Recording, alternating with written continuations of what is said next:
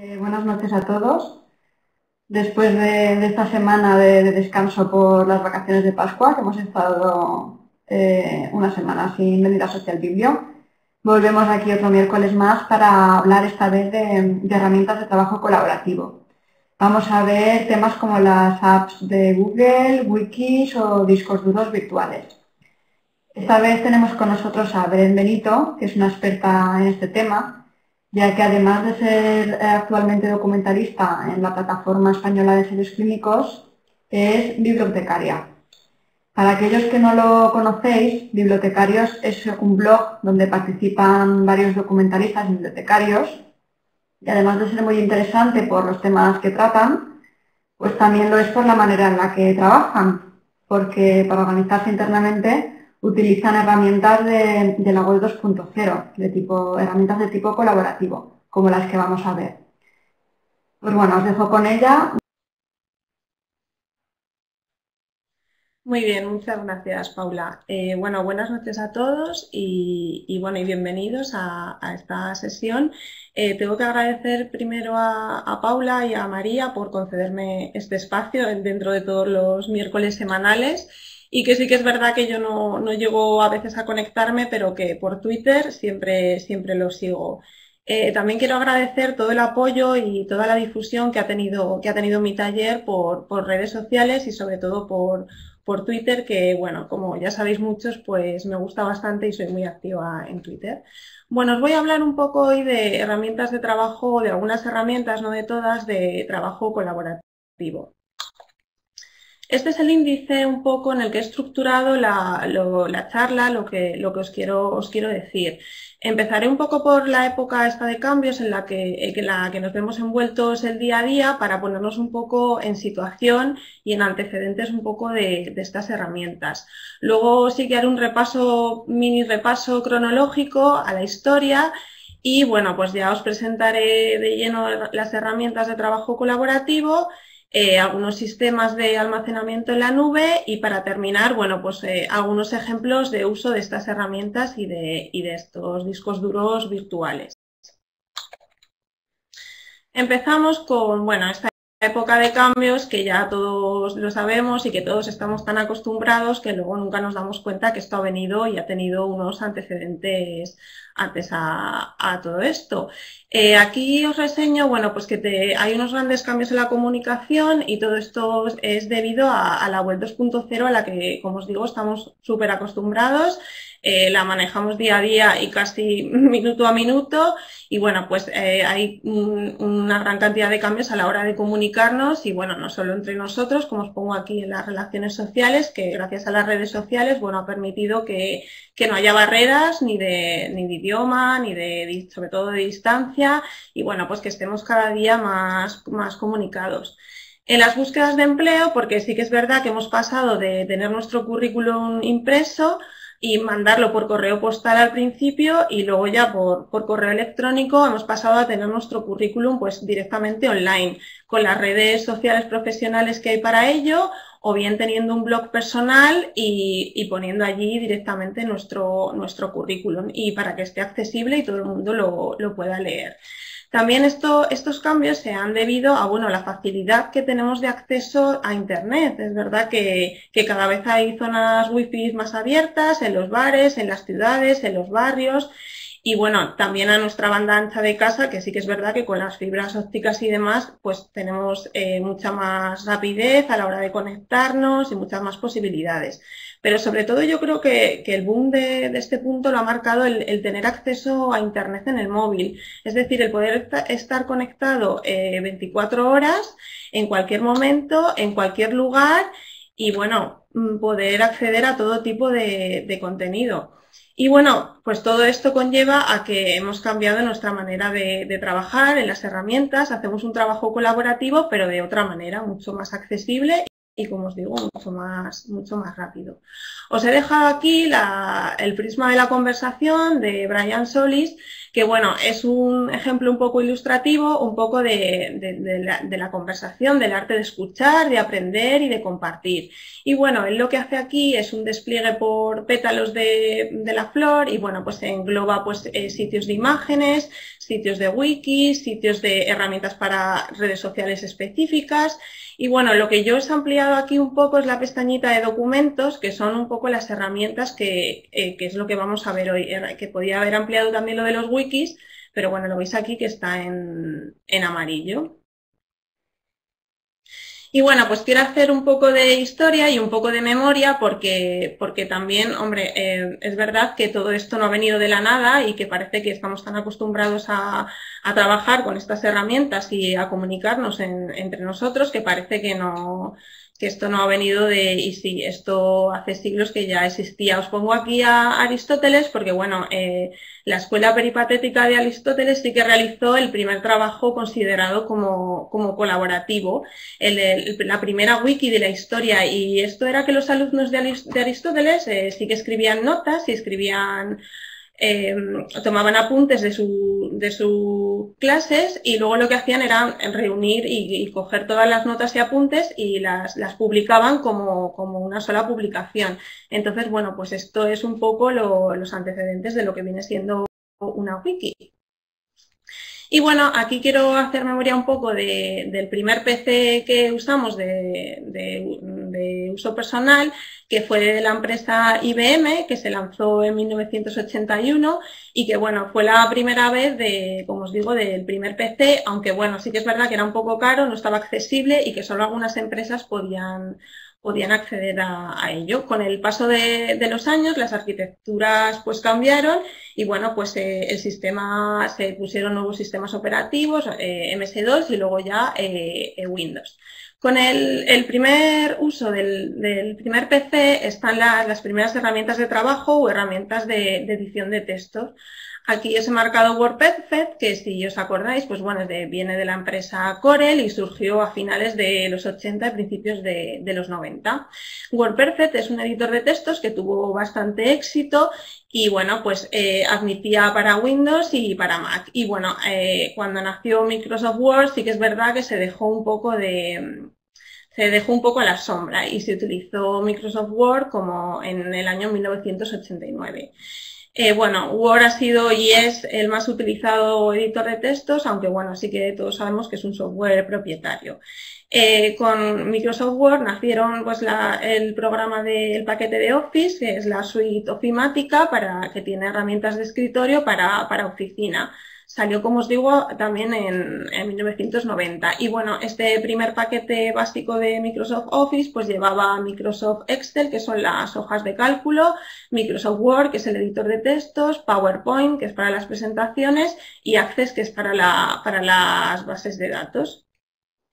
Y bueno, como sabéis, hay muchas versiones, creo que la última es la de 2010, si no me he perdido nada, para Windows y para Mac, y soporta diferentes sistemas operativos. Y bueno, pues más herramientas de edición de textos. Tenemos el WordPad, que es un editor de textos tipo blog de notas, pero un poco más complejos y que viene en todas las versiones de Windows, incluso ya en las últimas, Windows 7, también, también lo puedes encontrar. Eh, se empezó a incluir a partir de Windows 95. Y bueno, pues a raíz de, todo esto salieron alternativas a, Microsoft Word que no eran de pago, porque ya os he dicho que era un software propietario Microsoft Office, es un software propietario. Y bueno, pues el más conocido de ellos es OpenOffice, que está hecho en código abierto y que bueno, ya sabéis que es muy similar, es el mismo editor de textos, tiene las mismas características que, Microsoft Word. Y bueno, eh, os he dejado aquí un enlace de 10 alternativas gratuitas también, que la más conocida es OpenOffice, pero bueno, hay otras también que se pueden, que se pueden utilizar. Todo esto lo englobo para trabajar de manera, de manera offline, es decir, bueno, pues eh, no necesitamos internet para, estar conectados y trabajar con, un editor de textos como cualquiera de estos que os he, que os he presentado. Eh, seguimos haciendo un poco de recorrido por la historia y bueno, para trabajar online sí que, em, sí que hemos utilizado pues el, correo electrónico, que ya sabéis que es un, servicio web que lo proporcionan diferentes servidores y que bueno, que lo que nos permite es enviar y recibir mensajes de texto o bien enviar y recibir documentos o otro tipo de, otro tipo de archivos adjuntos. Eh, he sacado aquí una definición de la Wikipedia para hacernos un poco de, de, cronología. En 1961 se exhibió un sistema que permitía a varios usuarios ingresar a una IBM 7094 desde terminales remotas y así guardar archivos en el disco. Esto hizo posible nuevas formas de compartir información. Aquí ya se está hablando de compartir información, compartir información a través de los correos electrónicos. Como todos sabemos, eh, pues el uso del correo electrónico es algo del día a día y lo usamos entre nuestros días, eh, hasta nuestros días y lo vamos a seguir utilizando en nuestra vida personal y en nuestra vida profesional continuamente. Pero bueno, yo creo que cuando hacemos un uso excesivo, y lo pongo entre comillas porque mm, aunque parezca excesivo, lo vamos a seguir utilizando y es una herramienta de trabajo, pues que no la vamos a eliminar. Creo que cuando tenemos demasiados correos, pues existe una pérdida de información, o sea, a mí me pasa y es seguro que a todos vosotros también. Cuando nos envían documentos, pues eh, nos juntamos con una cantidad de documentos que ya no sabemos dónde los tenemos, dónde los guardamos, dónde los podemos recuperar, bueno, un poco un caos. Y bueno, pues a veces los problemas que nos dan ciertos, ciertas veces para, para, para, hacer, pues eso, para enviar y recibir documentos y cuando queremos adjuntar un documento lo tenemos que compilar con otro programa, en fin, un, un proceso bastante farragoso y que bueno, que estamos acostumbrados de todos en nuestro día a día y los problemas para enviar y recibir, de que no nos llegan, de que hemos enviado, de que se nos corta, de que, bueno, un cajón desastre, podría definir yo mi correo electrónico, por ejemplo. Y bueno, pues aquí os voy a presentar algunas de, algunas de estas herramientas de trabajo colaborativo. Vamos a empezar por las, por las wikis. Una wiki es un sitio web donde un usuario pues, puede crear, editar y borrar páginas, puede crear enlaces y añadir conceptos. Es un tipo de colaboración online y bueno, lo normal es que lo, lo realicen una comunidad o un grupo de personas que tengan un, interés, un interés en común. Sí que es verdad que aunque esto parece la alegría de la huerta y cada uno puede crear y puede editar y puede borrar, es necesaria una organización. Es necesaria una organización porque si no crearíamos un sitio web un poco cajón desastre y no es lo que, y no es lo que queremos. Y bueno, pues lo que os digo, tiene plena libertad para diseñar y el software de, las wikis es MediaWiki, que es un software de, código abierto y que es el mismo software en el que está hecho la, la Wikipedia, que es el ejemplo más famoso de wikis, la Wikipedia. ¿Por qué es tan famoso? Bueno, es la enciclopedia online por excelencia, y aunque a veces sea criticada, pues todo el mundo mira artículos en la, Wikipedia. De hecho, tiene más de 20 millones de artículos, está traducida a más de 282 idiomas, los redactores suelen, ser voluntarios y las más visitadas pues son las, páginas en inglés y en español. Como os digo, es, de código abierto, de contenido abierto y bueno, hay todo un movimiento global y una fundación de, de la Wikipedia que es wikipedia.org que lo que pretende, bueno, pues eh, es un poco llevar el contenido educativo de código abierto y demás. Aquí os he puesto otros breves ejemplos, que es la Madridpedia, que es la enciclopedia libre de Madrid, en la que, bueno, pues cualquiera puede, puede editar sus artículos, puede añadir más, y bueno, lo que la Madridpedia recoge son enlaces y recursos sobre Madrid, sobre sus barrios, sus distritos, su historia, también creo que tiene un apartado de efemérides y bueno, pues eh, es bastante, está bastante bien para, consultar y lo que digo también para, animarse a añadir contenido sobre, sobre Madrid. Wikilibros es, la, es una wiki sobre libros y bueno, los antecedentes de, de Wikilibros están son en inglés, es Wikibooks y bueno, es una colección de libros de texto y manuales y también contiene otros libros de, contenido eh, pedagógico, pero todo de, contenido libre. Entonces, bueno, pues eh, lo mismo, el mismo sistema de una wiki, eh, pero con libros más pedagógicos. Y Wikinoticias, que bueno, es una, fuente de, noticias de contenido libre en el que, bueno, pues un, usuario puede colgar las noticias, pero bueno, se supone que, pasan revisiones y que, y que, bueno, que se intenta que sea neutral. Claro, me imagino que, que no, que pasará varias revisiones, según ponían, pasa, pasa varias. Y bueno, pues eh, otra pequeña wiki que he encontrado sobre información y documentación está en inglés y es la Library Information Science. Y bueno, pues eh, como os digo está en inglés, pero bueno, sí que es bastante, bastante útil y bueno, podéis echarle un vistazo porque tiene una organización bastante, bastante buena. Lo que no sé si la tienen actualizada a día de hoy, pero vamos, bastante actualizada, así que sí que está. Y bueno, os voy a poner un vídeo que es de hace unos años pero que, está muy bien, es muy, muy facilito, muy básico y creo que queda bastante claro el, concepto de, de la wiki.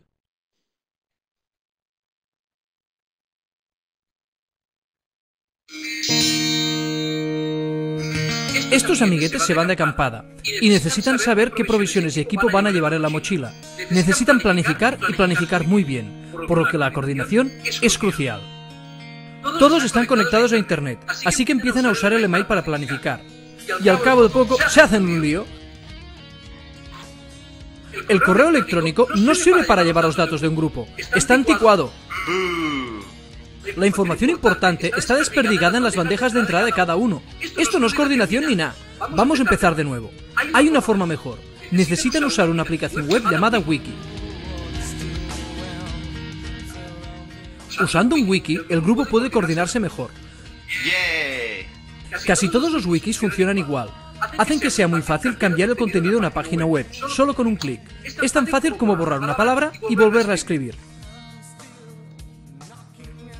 Para usar un wiki hay que saber usar dos botones, editar y grabar, que siempre se usan conjuntamente. Vamos a verlos en acción. Aquí tenemos a nuestros amiguetes campistas, y esto es un wiki website.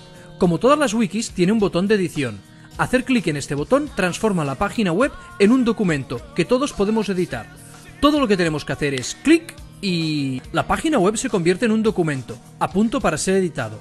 Eso significa que puedes añadir o borrar palabras o cambiar su formato, como haces con cualquier procesador de texto.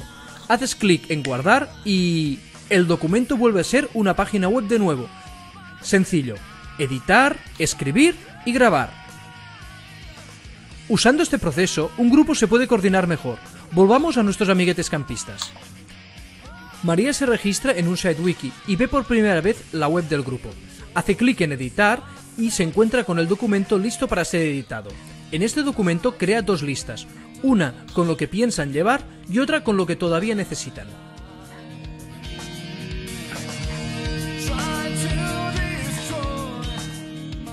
Cuando termina, pulsa grabar y la web tiene la lista para la acampada. Ahora es el turno de Juan, quien visita la web wiki y hace clic en Edit.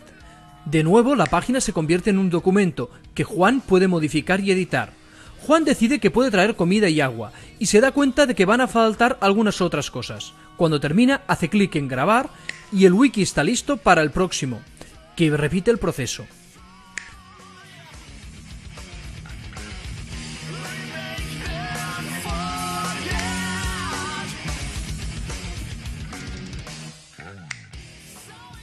Cuando el último de ellos hace el proceso, se dan cuenta que ya tienen acabada la lista de acampada, sin usar el email. ¡Bien! Pero esperad, falta una cosa todavía. Necesitan decidir dónde van a ir de acampada. El wiki también puede ayudar a este proceso, pero necesitamos una nueva página. Juan visita la wiki, la edita y escribe la palabra lugares, y la selecciona.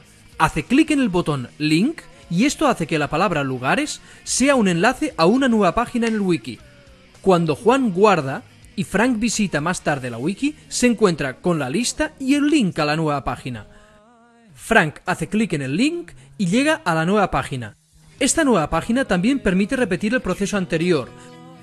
Estos tres botones, editar, guardar y link, hacen posible desde organizar una acampada genial o crear la mayor enciclopedia de la historia.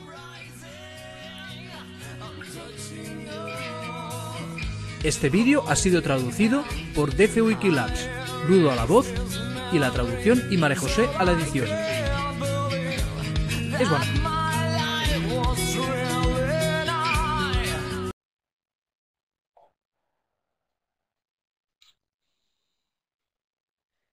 Ahora me oís perfectamente, ¿no?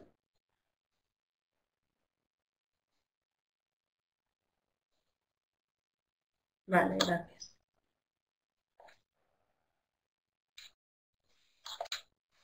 Vale, pues vamos a continuar con, las herramientas de trabajo colaborativo, en este caso con, con, Google o como a mí me gusta llamarlo por Twitter, con el hashtag Mundo Google. Bueno, estas son las herramientas de Google, que es un correo electrónico, Gmail, con el que vamos a tener acceso a, todo lo demás.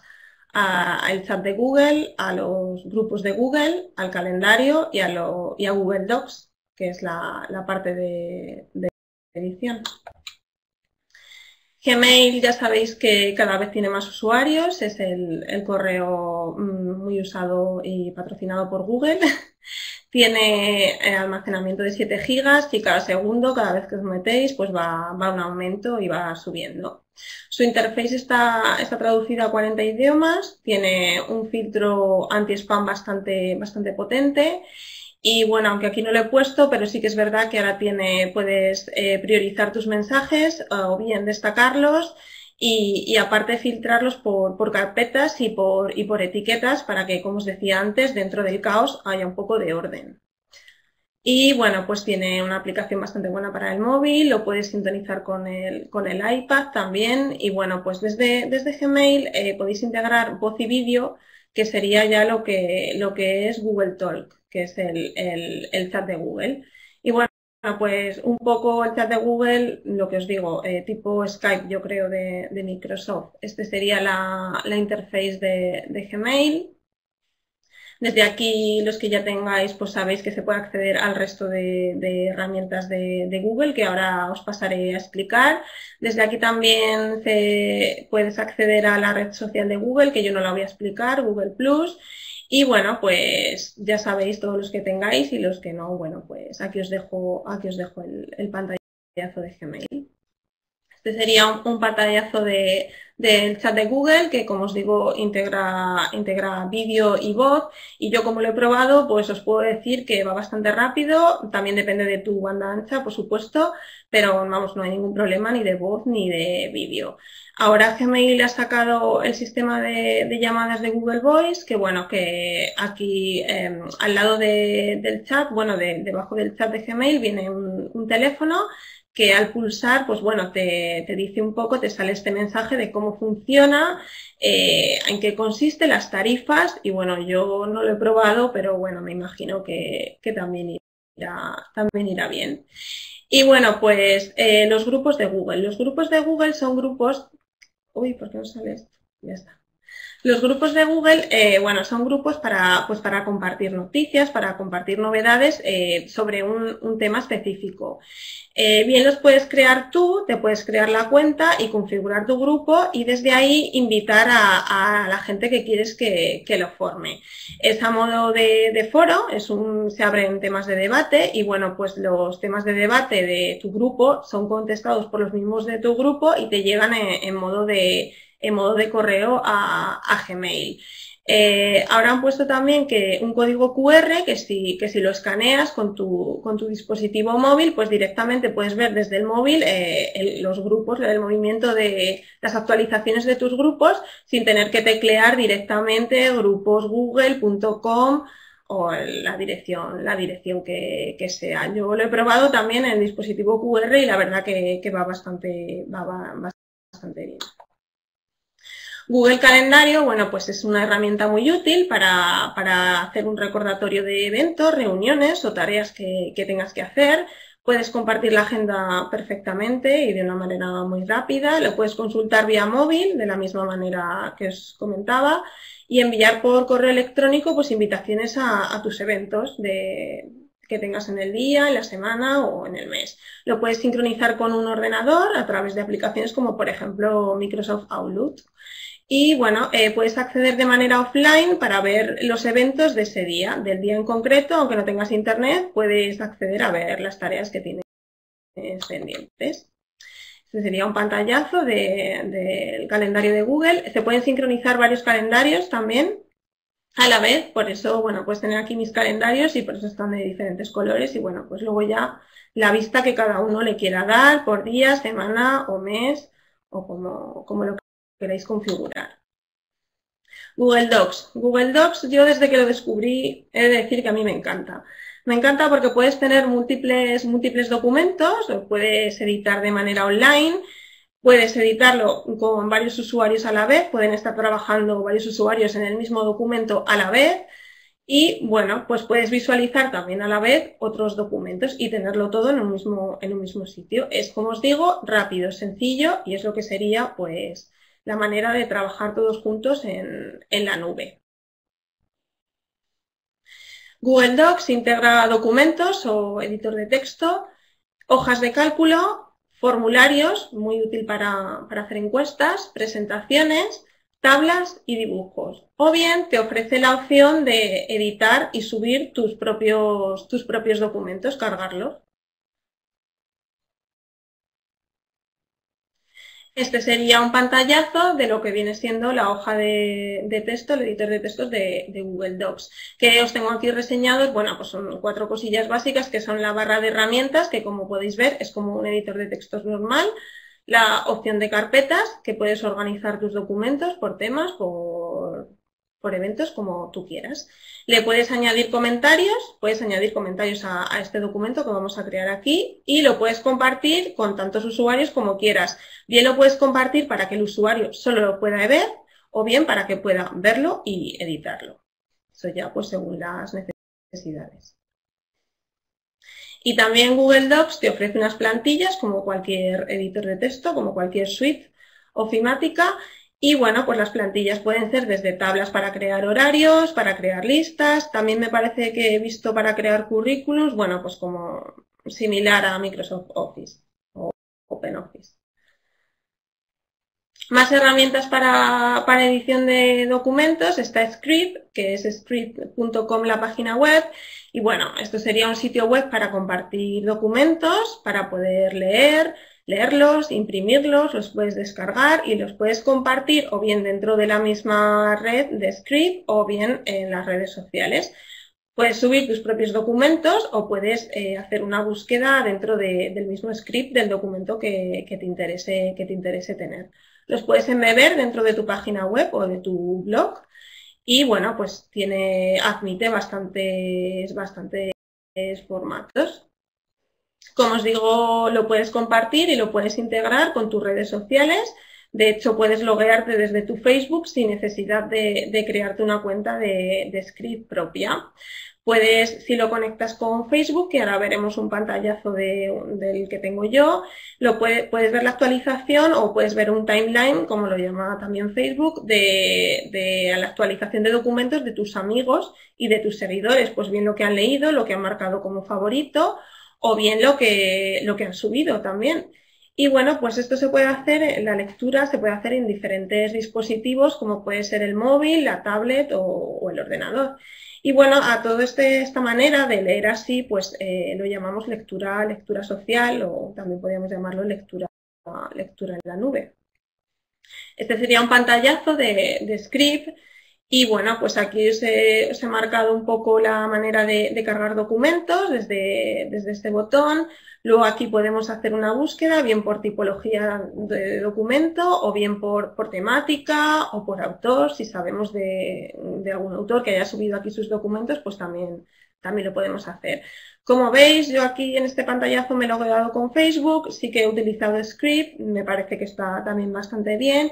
Y desde aquí, bueno, pues puedes organizar pues, tu página principal, lo que os digo, con el timeline de, en este caso de Facebook, de tus amigos de Facebook, bueno, pues lo que se han leído, lo que han descargado o lo que han subido ellos.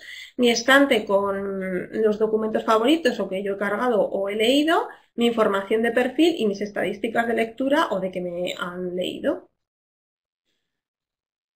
Bueno, otra herramienta que os voy a presentar es DocStock, docstock.com. Es también otra herramienta similar de publicación online de, documentos.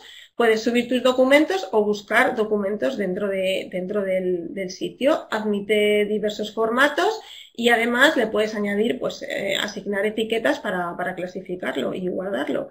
Y lo mismo, la facilidad para compartir en cualquiera de tus redes sociales.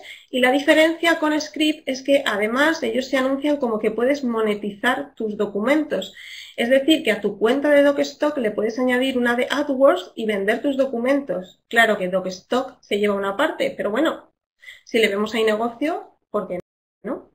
Digo yo. Y bueno, esto es más o menos el pantallazo de lo que viene siendo la página. Aquí nos podemos encontrar en este lado las categorías de los documentos de, de DocStock. Y en esta parte que está más abajo, pero yo os le he ampliado un poco, pues bueno, viene el apartado que os digo de vender los documentos, haz dinero con tus documentos, la parte de, como en script de poder embeber perfectamente tus documentos a tu web o a tu blog, bueno, la, la tienda online, un poco, bueno, pues para un poco lo parecido a Script. Y bueno, esta herramienta, Hackpad, la he encontrado pues hace escasos días mientras preparaba un poco esta clase por Twitter, que ya sabéis que como me ha gustado mucho, yo lo considero una gran fuente de información y me entero de muchísimas cosas. Y bueno, sobre todo cuando estoy preparando algo de esto, pues viene, viene muy bien. Y bueno, pues eh, Hackpad es una, también es otra herramienta para la colaboración online. Lo único que, bueno, aquí las, las páginas pues las llaman pad en vez de páginas y ellos se definen como una especie intermedia entre una wiki y una herramienta ofimática online. Eh, la diferencia que tiene una versión Pro, que supongo que como todas las versiones Pro y Premium tienen más, más ventajas, más, más accesos a más cosas, pero claro, mm, pagando. Y sí que destacan que para, que para empresas.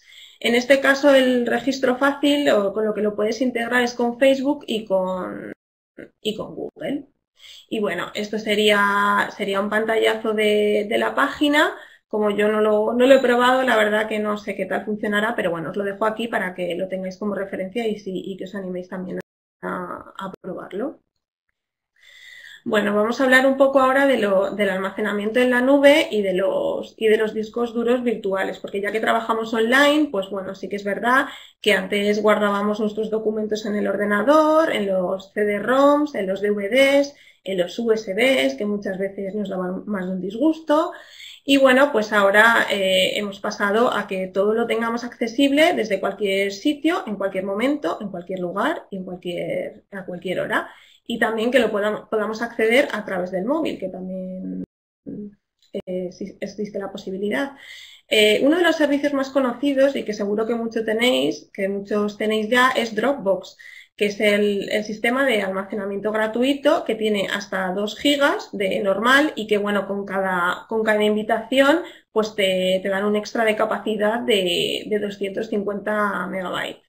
Puedes llegar, creo que hasta un máximo de 8 gigas. Y lo último que también he leído por Twitter es que si te registras o que si comentas en Facebook y en Twitter que por qué te gusta Dropbox, me parece que también te dan, te dan capacidad extra. Bueno, es muy fácil compartir compa eh, contenidos entre tus, entre tus contactos. Puedes subir todo tipo de formatos, documentos, imágenes, mm, etcétera.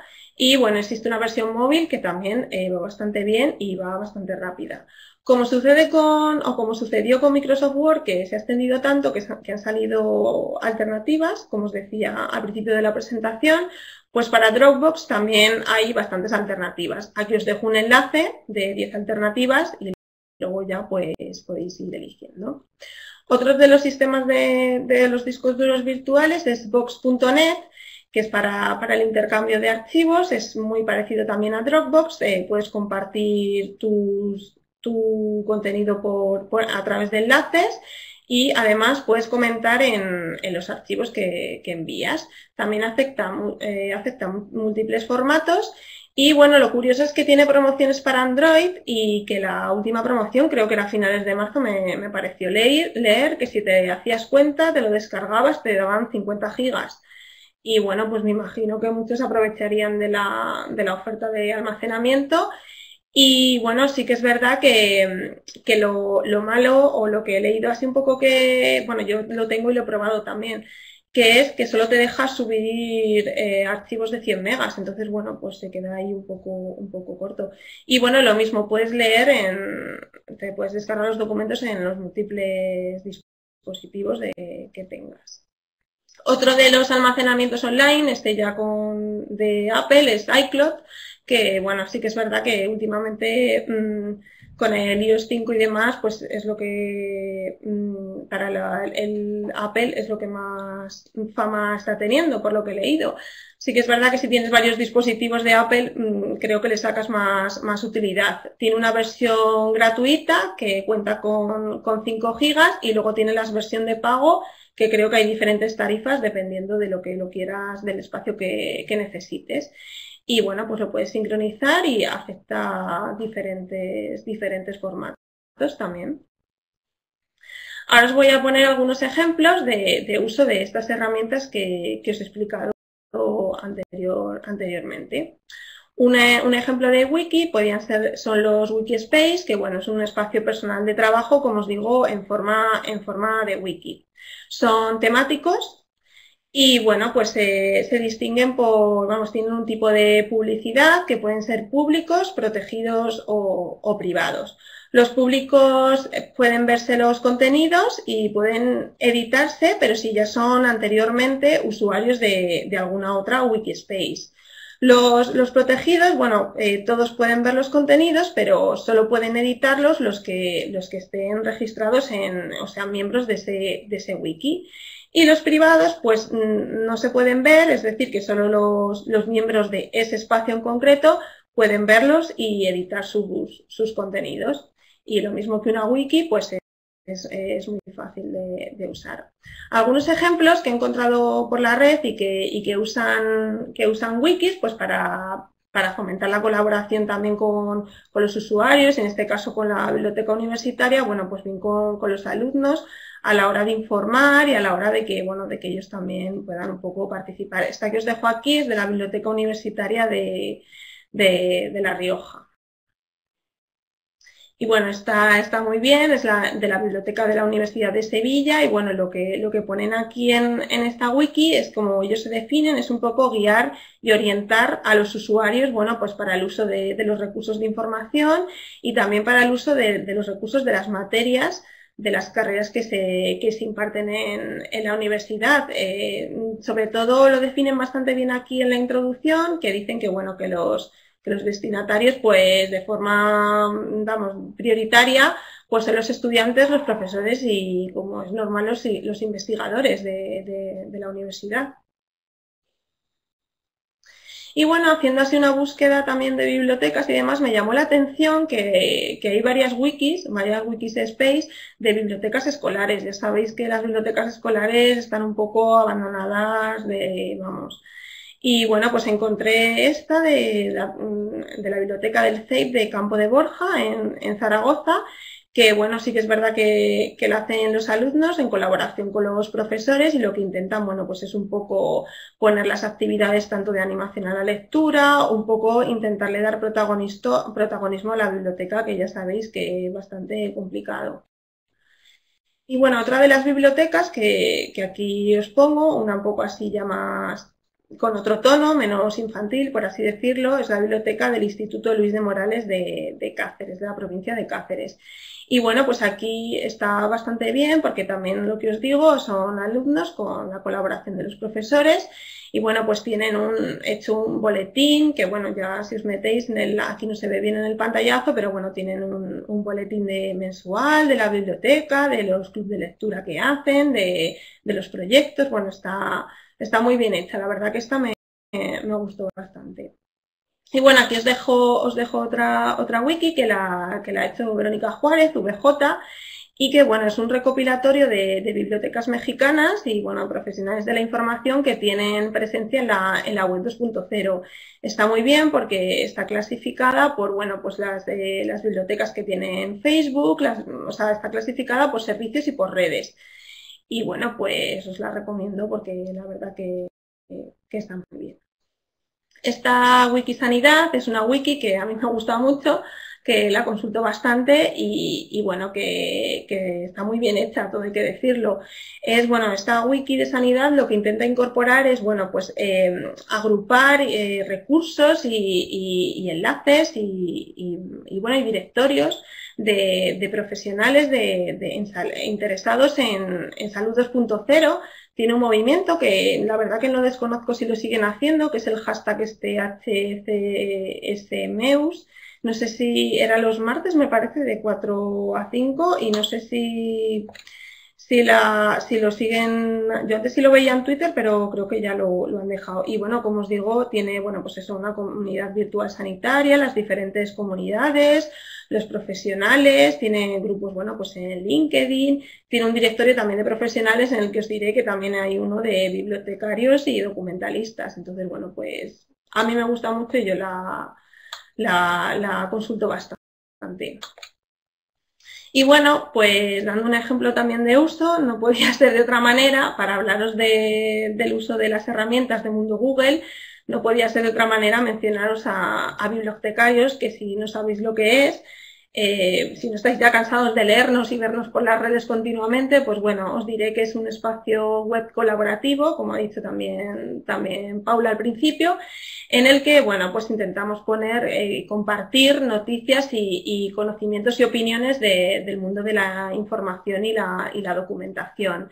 Eh, bueno, ya sabéis también que utilizamos la, filosofía del crowdsourcing, que es un poco el aprovechamiento de, la inteligencia colectiva y lo que, lo que viene siendo pues tratar diferentes temas de, biblioteconomía y documentación, pero desde, desde diferentes puntos de vista, desde cada blogger, pues eh, desde su, su visión. Y eso, bueno, es un poco lo que le da el valor añadido y lo que le da lo que le da ese tono a, nuestro blog. Eh, bueno, deciros que somos 48, creo, porque ya estoy un poco perdida de blogueros de, España y de, América Latina. Y bueno, pues nosotros nos organizamos de una manera interna, aunque ya sabéis que, el proyecto lo creó Julián Marquina, lo creó en 2010, y aunque él coordina todo, todo, pero luego eh, lo que tenemos, bueno, pues es que cada uno tenemos grupos de coordinación que tenemos grupos de coordinación de publicaciones, porque alguna vez sí que hemos publicado algún artículo o nos hemos presentado, por ejemplo, a FESAVID el año pasado, o bueno, pues si surge cualquier cosa, hay un grupo de, publicaciones. Luego está el grupo de redes sociales, que bueno, yo soy una de ellas, como ya sabéis que me gusta tanto Twitter, pues no, no, podía, no podía ser menos. Y bueno, eh, también está el grupo de, ahora hemos creado un grupo de gabinete de crisis que, bueno, ahora os explicaré un poco qué son los postconjuntos que hacemos si hay un tema candente de actualidad. Pues bueno, la persona encargada de, del gabinete pues nos pone en marcha y nos dice, venga, sobre la marea amarilla, pues todos aún ahí. Y, y, bueno, y entonces hay otro grupo de comunicación internacional que los lleva nuestro colega de, de América. Entonces, bueno, pues eh, en esta organización interna, como, os decía, pues como no podía ser de otra manera, utilizamos herramientas de, trabajo colaborativo. Y estas herramientas que utilizamos, pues son Google, los grupos de Google que lo utilizamos a modo de, a modo de intranet. Es decir, aquí nos van, nos van surgiendo los temas, eh, que los empieza quien los tenga que empezar o, para proponer o demás, y los demás, bueno, pues contestamos a esos, a esos temas de debate pues a, través de, Google Groups y lo que nos llega es en forma de, correo electrónico. Y bueno, pues eh, usamos el calendario de Google para, para organizarnos porque, bueno, como como ya sabéis, los que no sabéis, pues eh, el proyecto va creciendo poco a poco y la verdad que tenemos cantidad de, publicaciones, aparte de que somos muchas personas, eh, bueno, pues eh, reseñamos también libros, hay sonrisas bibliotecarias, hay firmas invitadas, todos los meses hay el top 5, bueno, hay una serie de eventos que sí, es verdad que si no llevásemos esto, yo no sé ya ni cómo nos organizaríamos y a Julián le volveríamos loco más todavía. Entonces, bueno, eh, utilizamos Google Doc para lo que os he dicho antes, cuando hay gabinetes de crisis, eh, para hacer los post conjuntos, entonces nos da igual la hora y el lugar y el momento. Aquí cada uno se apunta, elige un color y va poniendo lo que, lo que crea conveniente y bueno, pues como os digo, em, no hace falta que estemos coordinados, ahí se guarda todo, todos tenemos el documento y, y, todos los, los podemos editar. Y bueno, también lo que podemos hacer es subir documentos, como os decía, desde Google Docs, nuestros propios documentos y editarlos, que en este caso, bueno, pues os he puesto aquí el manual de bibliotecarios porque es lo último que andamos ahí en cambios. Y bueno, pues para, finalizar os dejo aquí una serie de, recursos que, bueno, que también los podía haber contemplado, pero bueno, mm, es verdad que tampoco los he utilizado mucho y entonces, bueno, pues los dejo aquí como, como referencia. Os dejo OpenAtrium, una herramienta de trabajo colaborativo muy interesante, como se definen ellos, que consiste en, crear grupos de trabajo y dentro de esos, de esos grupos, bueno, pues eh, se pueden crear una especie de calendarios, eh, bueno, un poco, ya os digo que no he investigado mucho. Ellos, como se definen de una herramienta de trabajo colaborativo muy interesante, pues por eso os la, he dejado aquí. Creo que es un poco más complicado que hacer una wiki, pero vamos, mm, os lo dejo por si, por si queréis. Las wikis, otra enlace más como herramientas de trabajo colaborativo, y os dejo aquí otra presentación de un trabajo presentado por Fernando Gabriel Gutiérrez, que es un bibliotecario y bueno, cuando yo estaba haciendo este, esta sesión, pues eh, encontré su presentación también para, de herramientas de trabajo colaborativo para, bibliotecarios. Y bueno, también en Twitter, y no sé qué día ya, encontré eh, que alguien colgó eh, este enlace de una docena de herramientas colaborativas para la, para la gestión de proyectos. Entonces, bueno, pues también, también me parece que, es interesante ponerlo. Y bueno, pues un poco ya más hablando de, discos duros virtuales, pues bueno, os pongo aquí 10 servicios de almacenamiento en la nube nacidos el, año pasado. Y bueno, aquí os dejo también un enlace de los mejores servicios de almacenamiento que hay en, que hay en, la, en la nube. Y bueno, pues esto ha sido, esto ha sido mi presentación y, muchas gracias a todos por, por escucharme.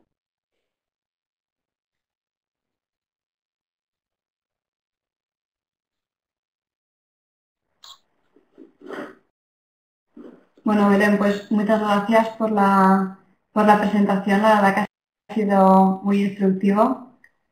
Eh, no han habido demasiadas preguntas, la verdad. No sé si es que todo el mundo tiene muy claro este tema de las herramientas de trabajo colaborativo. A ver si ahora nos va llegando alguna pregunta a través del chat. Pero mientras la gente se lo piensa, yo sí que te quería preguntar alguna cosa. Eh, por ejemplo, em, yo por ejemplo también utilizo mucho las herramientas de Google, ¿no? Y tengo una duda con respecto al Google Calendar, eh, porque em, como has comentado, existen calendarios que son públicos y tú te puedes descargar de internet eh, calendarios que incluir en tu propio en tu propia cuenta de Google Calendar para así poder consultar eventos.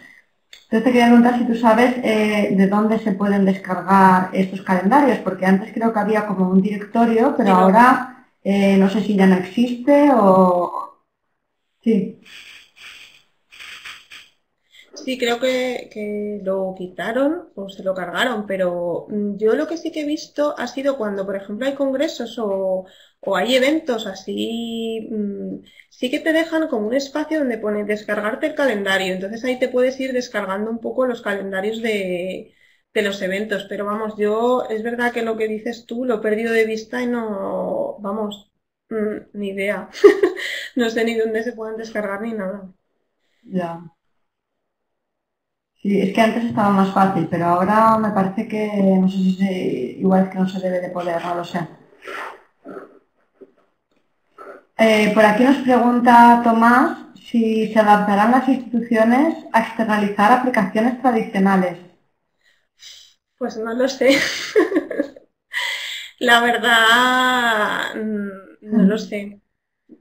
Igual deberían, pero mm, no tengo ni idea. No sé si al final. No lo sé. Yo diría que si al final se llega a hacer, costará mucho, muchísimo. Pero no sé, ya veremos. Eh, no sé si se refiere aquí Tomás.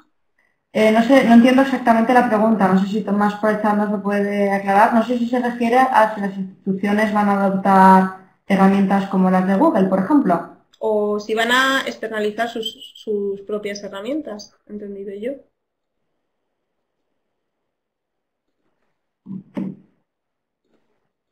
No sé si Tomás está por aquí, nos lo puede... Está, está escribiendo, ¿no? Ah, lo de si se atreverían a usar. Sí, es que yo, por ejemplo, eh, conozco la Universidad aquí de Castellón, la Universidad de Jaume I, sé que ahora eh, está utilizando todas las herramientas de Google para, para su propia comunicación interna, institucional. Han pasado todos los correos institucionales a, Gmail y todas las herramientas de trabajo colaborativo las están utilizando a nivel institucional. Y la verdad que me llamó mucho la atención porque creo que no es, no es lo habitual, ¿no? En una institución que, que adopte herramientas externas. Y bueno, es un buen ejemplo. Sí, la verdad es que sí, porque es lo que comentan también que estoy viendo por el chat, que sí que se utiliza pues eso a nivel de grupo más, más concreto, más privado, más, pues eso, más tipo lo nuestro, bibliotecarios o cualquier otra, o cualquiera. Pero sí que es verdad que no, que no, que las instituciones no, vamos, es curioso el caso y es la excepción, yo creo, que, que confirma la regla. Pero vamos, que, que sí que, que deberían usarlas. Mm, y claro, también. Por aquí estaba comentando también Ángel. Sí. Que Ángel estaba comentando por aquí que en USA sí que se usan más las herramientas de Google en universidades y empresas en España en cambio no se, no se hace. ¿Que ¿Por qué crees tú que en Estados Unidos sí que se hace esta práctica? Bueno, es que en Estados Unidos siempre van bastante por delante de, de nosotros. Entonces, bueno, yo creo que, que, lo utilizan porque es que le ven, le ven la claridad a la gratuidad y, a la, y al acceso rápido y al, al ahorrarse ese dinero, ¿no? Al ahorrarse el presupuesto que se, que se invierte pues en, en, comprar los paquetes de software propietario para hacer cualquier cosa, como viene siendo editar textos, ¿no? Entonces, bueno, yo creo que, claro que le han visto esa utilidad y le han dicho, vamos a explotarla, evidentemente. Lo que pasa es que, bueno, aquí sí que es verdad que todo nos cuesta hacerlo muchísimo y hay ciertas cosas que, que van más lentas que otras, eso, eso está claro. Así que bueno, yo qué sé, esperemos que poco a poco vayamos todo integrando, poco a poco. A ver, ¿qué más preguntas eh, nos decían? Eh, no les ha quedado muy claro a un par de personas eh, el tema de script. preguntaban primero cómo se puede descargar y luego si es tipo un Facebook pero de descarga. Mm, no, vamos a ver, no es un tipo Facebook de descarga, es un tipo para compartir eh, documentos. Es decir, yo decía que te podías loguear con, Facebook para, evitarte, pues eso, eh, crearte otra cuenta más, ¿no?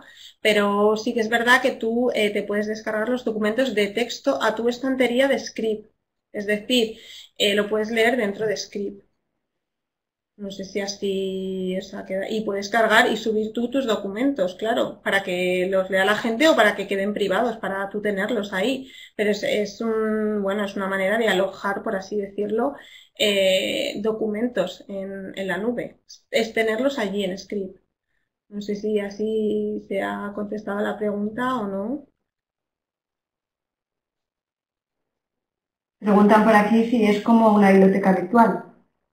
Bueno, una biblioteca virtual engloba muchas cosas, mucho tipo de, muchos tipos de materiales, pero vamos, yo lo que dicen es que mayormente son PDFs, sí que es verdad que mayormente son documentos de, de texto y en formatos PDF que se puedan leer con, con claridad. Entonces, bueno, pues yo creo que no, que como biblioteca virtual no. También preguntaban por aquí si hemos hablado de Moodle. Eh, no hemos hablado de Moodle, pero está previsto hablarlo más adelante, ¿vale? En alguna sesión de, Social Biblio. También están preguntando ahora sobre la confidencialidad. Eh, también otra persona, eh, Carlos, ha preguntado antes en el chat que cómo contemplaban la ley de protección de datos este tipo de herramientas, las herramientas colaborativas. No sé si ¿Sabes algo al respecto? Bueno, pues yo creo que sé un poco lo que todo el mundo, vamos, lo que vas leyendo por ahí y, y demás, que bueno, pues tampoco es que pues yo qué sé, es que está todo ahí, pues sí que es verdad que un día si nos quedamos sin Google Docs, pues a mí me matan directamente, como cierran el chiringuito los de Gmail, me hacen polvo, pero bueno, mm, no sé, ya te digo que tampoco, tampoco he indagado mucho en ese tema. Bueno, yo tengo una duda también que, se me ha ocurrido antes cuando estábamos viendo el vídeo, eh, el vídeo que hemos visto que era una explicación sobre las wikis, y se ponía el ejemplo de la organización de una acampada, ¿no? Donde habían varias personas editando un documento. Entonces yo me preguntaba qué diferencia habría, por ejemplo, entre hacer eso en una wiki y hacerlo en Google Docs, porque en Google Docs también varias personas pueden editar un documento y, hacer lo que estaban haciendo en el vídeo, ¿no?